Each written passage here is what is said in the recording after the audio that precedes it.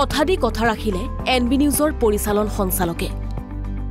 সমাজকৰ্মী নৃপেন দাসৰ উদ্যোগত নলবাৰীত শিৱ মন্দিৰ নিৰ্মাণ।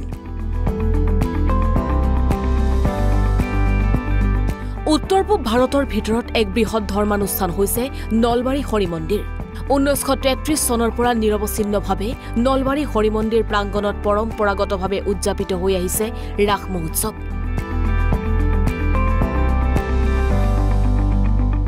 দুহেজাৰ তেইছ চনত ৰাস মহোৎসৱৰ ৰাজহুৱা সভাত মন্ত্ৰী জয়ন্ত মল্ল বৰুৱাৰ অনুৰোধত এন বি নিউজৰ পৰিচালন সঞ্চালক তথা সমাজকৰ্মী নৃপেন দাসে সহস্ৰাধিক ৰাইজৰ ওচৰত প্ৰতিশ্ৰুতি দিছিল নলবাৰী হৰি মন্দিৰ প্ৰাংগণত এটা শিৱ মন্দিৰ নিৰ্মাণৰ। আৰু সেই প্ৰতিশ্ৰুতি অনুসৰিয়েই নলবাৰীত মন্দিৰ নিৰ্মাণৰ কামত অগ্ৰসৰ হয় নৃপেন দাস। বৰ্তমান পূৰ্ণগতিত চলি আছে মন্দিৰৰ নিৰ্মাণ কাৰ্য। চলিত বৰ্ষ তথা আগন্তুক শিৱ পূজাৰ পূৰ্বে উদ্বোধন কৰা হ'ব এই শিৱ মন্দিৰটো। আৰু এনেদৰে এটি মন্দিৰ নিৰ্মাণত আগভাগ লোৱা সমাজকৰ্মী নৃপেন দাসক ধন্যবাদ জ্ঞাপন কৰি এক প্ৰস্তাৱ গ্ৰহণ কৰিছে হৰি মন্দিৰ পৰিচালনা সমিতিয়ে।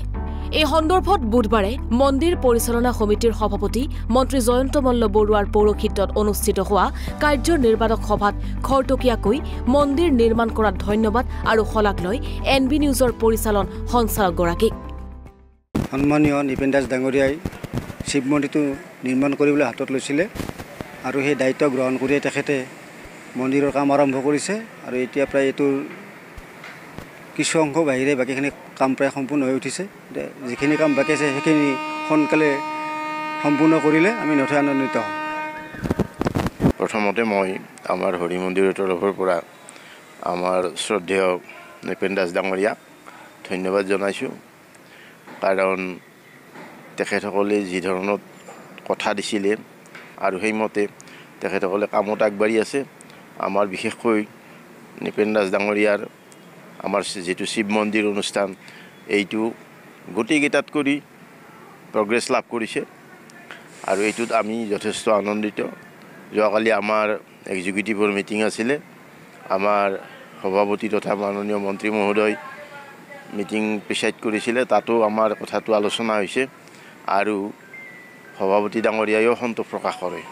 আমাৰ নতুন কাৰ্যনিৰ্বাহক সমিতি আমাৰ পূৰ্বৰ শিৱ মন্দিৰ কালী মন্দিৰ হনুমান মন্দিৰ আৰু নতুনকৈ আমি প্ৰস্তাৱ লৈ গণেশ মন্দিৰ নিৰ্মাণৰ কাম হাতত লৈছিলোঁ। আৰু ইয়াৰ প্ৰতি সঁহাৰি জনাই এগৰাকী হিন্দু সনাতনী লোক এন বি নিউজৰ স্বত্বাধিকাৰী সন্মানীয় নৃপেন দাস ডাঙৰীয়া তেখেতেও আমাক সঁহাৰি জনাইছিল আৰু শিৱ মন্দিৰটি তেখেতে স্ব ইচ্ছাই ইয়াতে নিৰ্মাণ কৰি দিবলৈ আগবাঢ়ি আহিছিল। আৰু তেখেতৰ যে আগ্ৰহ এই আগ্ৰহক আমি সন্মান জনাইছোঁ।